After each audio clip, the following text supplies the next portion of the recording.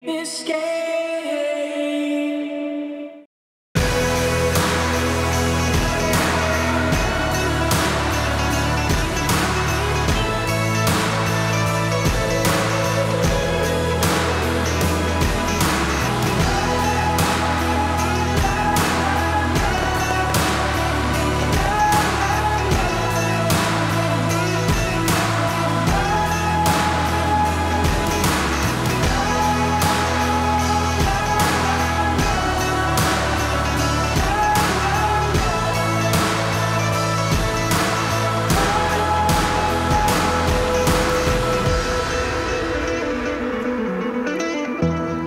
got nothing to say, by the way. So Well, we're just, just talk to me, you know? I mean,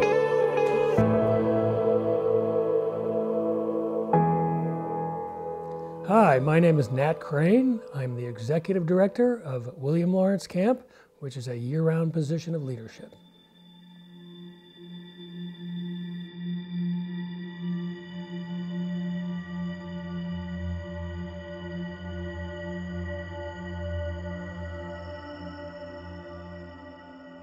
I mean, I love everything about camp. I, I love the, um, the result, the result for the kids, the growth you see. I love being outdoors. I love the camaraderie in particular.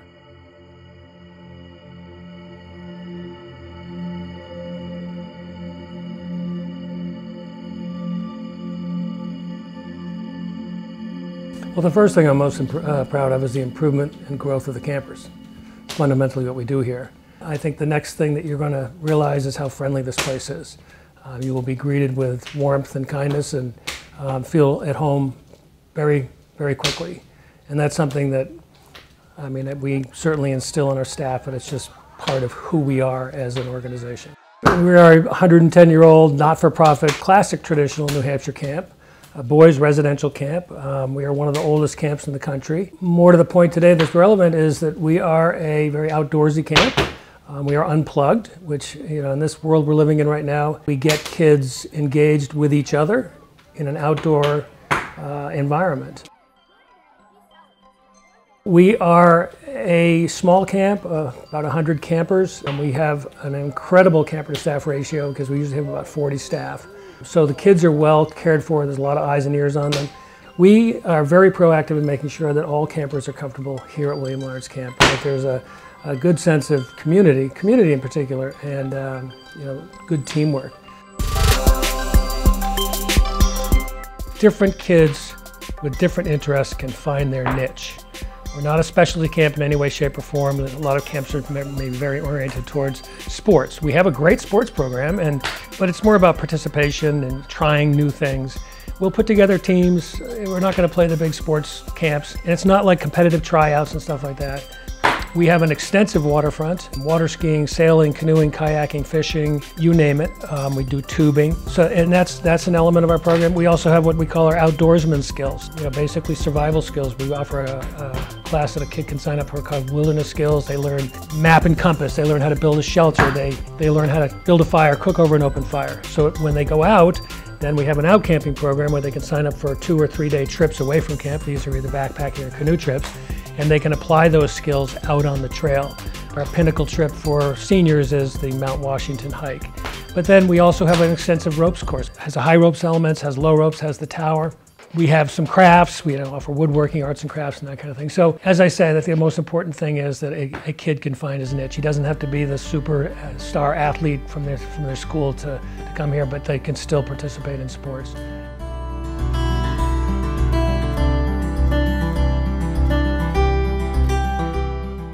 We have a council ring once a week where the members of the Honor Society host some fun and games around the campfire.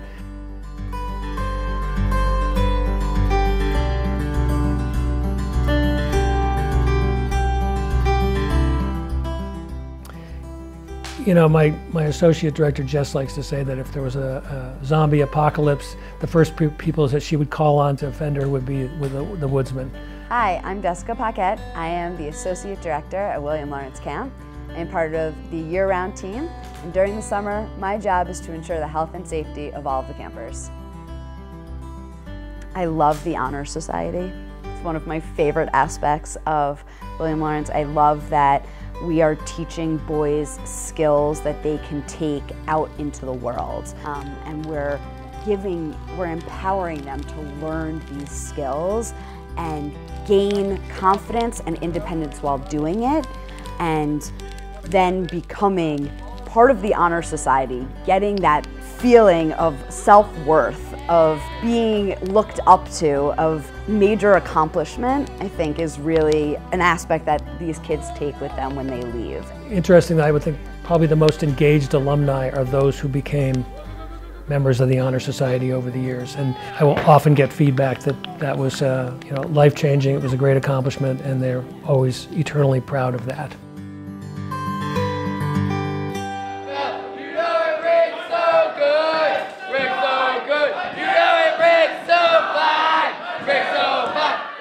I love the traditions. I love the dining hall. I love that it's loud and it's boisterous and it's high energy. You can feel it as soon as you step in. We eat, always eat together. We don't eat in shifts. Um, and there's a lot of spirit that happens and a lot of noise and energy um, that helps to create a dynamic of inclusion and friendship and connection. We all gather in the dining hall and it's a crazy place. And we allow it to be a crazy place. Now, not a food fight, not an animal house place but a loud place where there's just you know foot stomping and chants from one side to the next and it's fun. And and you just see the excitement and people sometimes will play loud disco music or something. It's like we have what we call rafter cake and the, the cooks will make a you know pizza size uh, pancake when we're having pancakes and there's rafters in the dining hall and the idea is to put it on a tray toss it up and through the rafters and you know, it takes several tries, for, but you know, the whole dining hall standing up and cheering for the rafter cake. That's a very bonding experience. It's a very fun experience. The way we manage our dining hall is a very important part of life. And by the way, we eat very well.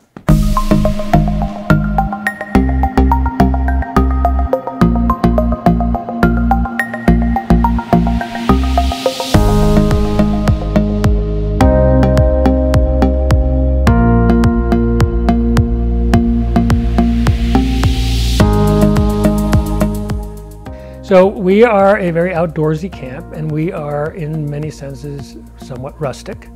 Um, we have beautiful facilities. Let me start by saying when you drive up here and you look back over your shoulder, we have one of the most dramatic views in the state of New Hampshire. So it's, it's a very inspiring facility in many ways. Our cabins are rustic in a sense, they don't have electricity. So there's a real sense of sort of traditional camping. So we think the benefit of a rustic camp, a camp like ours that doesn't necessarily have electricity in the cabins, um, doesn't necessarily have the newest model of things. But meanwhile, there are really nice bathhouses that are well lit and have hot water. The benefit of having that rustic environment, as a camper, your focus is on the activities, the people, the experiences that you're having. There's better things outside in nature. There's more fun happening outside. There's more interactions and experiences going on elsewhere.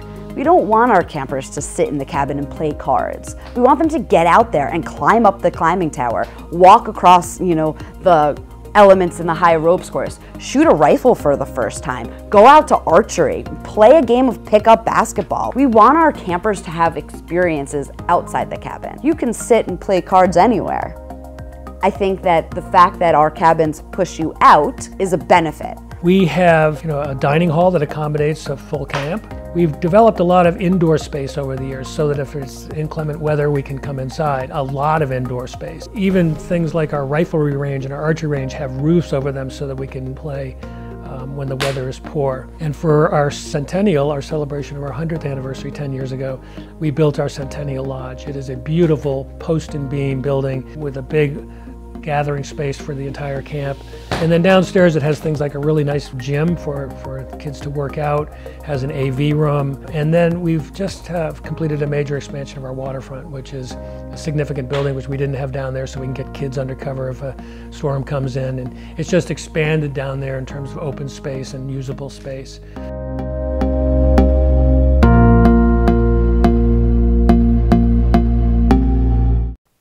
As a parent, the number one reason to send your kids to summer camp is so that they can gain independence and self confidence. The more independent they have to be and the more they can accomplish independently, the increase in their self confidence.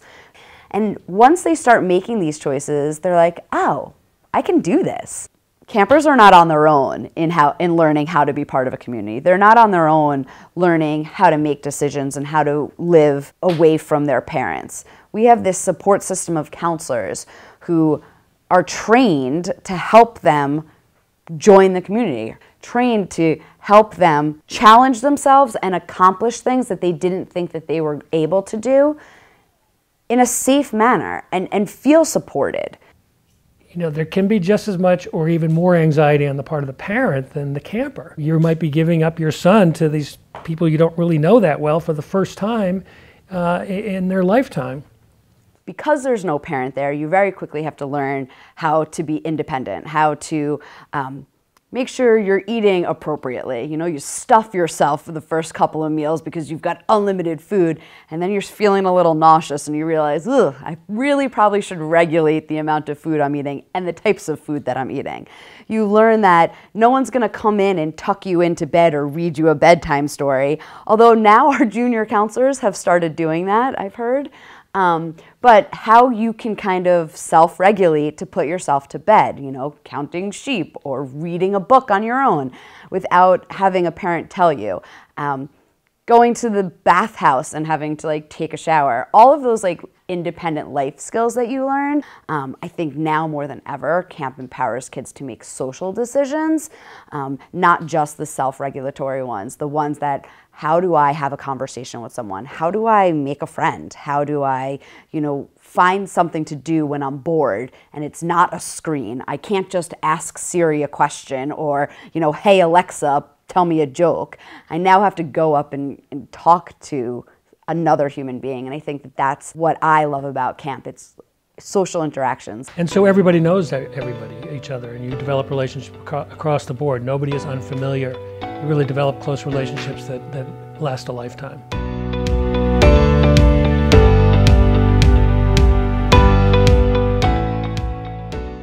Our mission and philosophy at William Lawrence is to create a whole boy, not just a physically capable boy, not just a boy who will challenge himself, not just a self-confident boy, but everything, all of the aspects of being a good friend. We are built on four cornerstones, WLCS.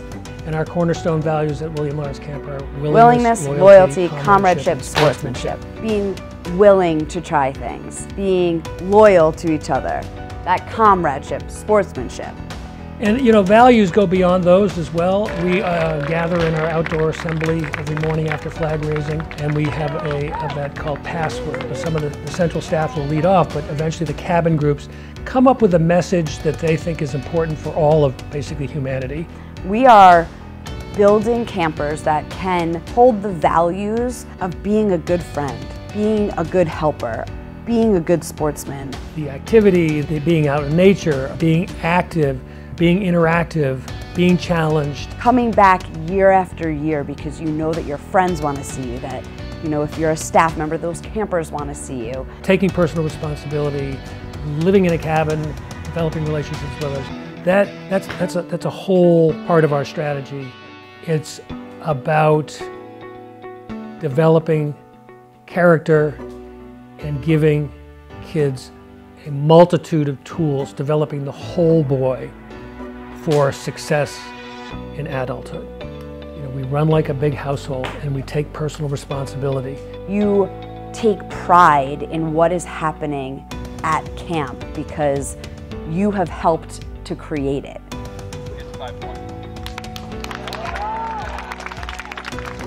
Try things that maybe you don't think you can do, get out of your comfort zone, and maybe fail, but try again and you will have encouragement from the staff because that's what we emphasize. We, you know, as I say, we're not trying to hire a tennis pro to make your kid a better tennis player. We're trying to hire a compassionate counselor to help your son be a better person. Developing the personality, the sense of self-esteem, the sense of I can accomplish things that I never thought I could that will also improve the self-confidence in tackling challenges of life. The longer a child is here, the more likely they are to have success at camp and be a returning camper.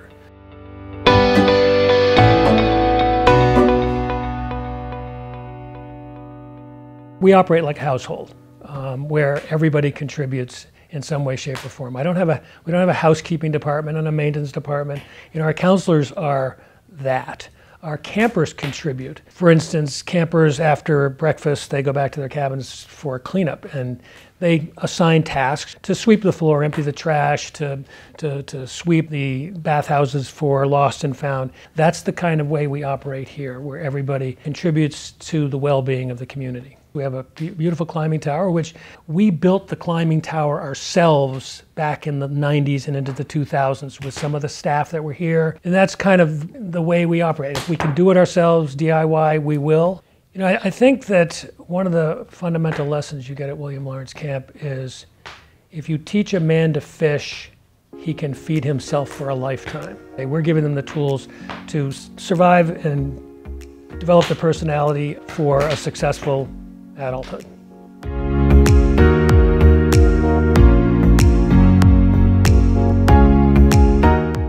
So, William Lawrence Camp, being an all boys, you know, single gender camp, allows boys to make those connections um, without the weight of having to have girls around and impress them or act a certain way because it's the cool thing to do. I, I think the single gender aspect of William Lawrence Campus allows boys to really find who they are um, and what they enjoy doing without any stigmas around them. You know, boys can be boys. I mean, they, they can they, they don't have to have their guard up all the time or have to be sort of performing because there are members of the opposite sex in the crowd.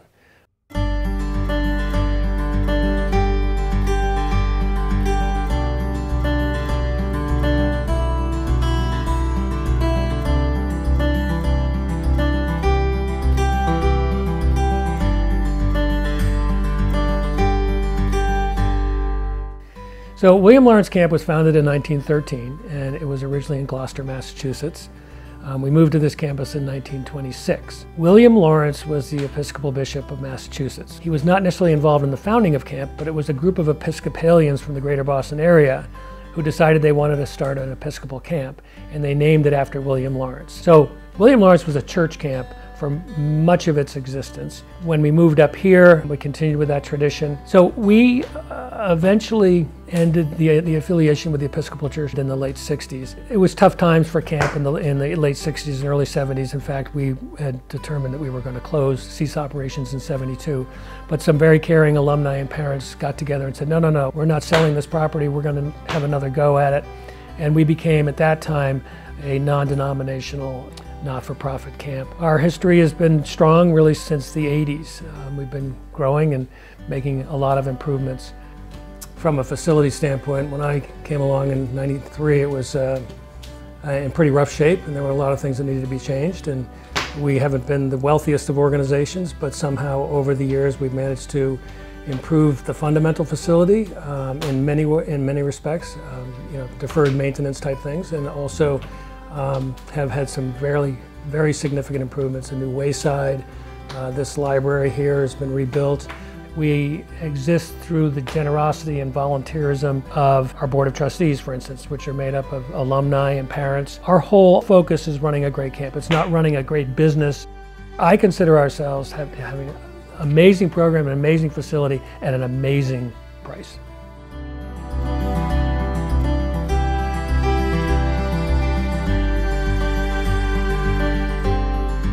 One of the more satisfying feedback I get pretty consistently um, from parents after their child has been at camp is, wow, he's going to be probably be putting his dishes in the sink. He's going to be taking out the trash. He's going to be making his bed. He's all of a sudden going to be this transformed human being that you don't recognize. That is a result of every little sort of facet of what we're doing here. They're becoming a more responsible person. But, you know, it's more of a sense of hearing from alumni saying, gosh, you know, the things I learned at camp were the most important things I've learned that have helped me carry me through my lifetime. You know, I'll hear from some folks who are sort of towards the end of their life and they'll be reflecting back and maybe I've never heard of them. I've been here for over 30 years. I've never heard their name, but all of a sudden they are in touch with us saying, thank you. Thank you for everything you did because you gave me the basis to be successful in life.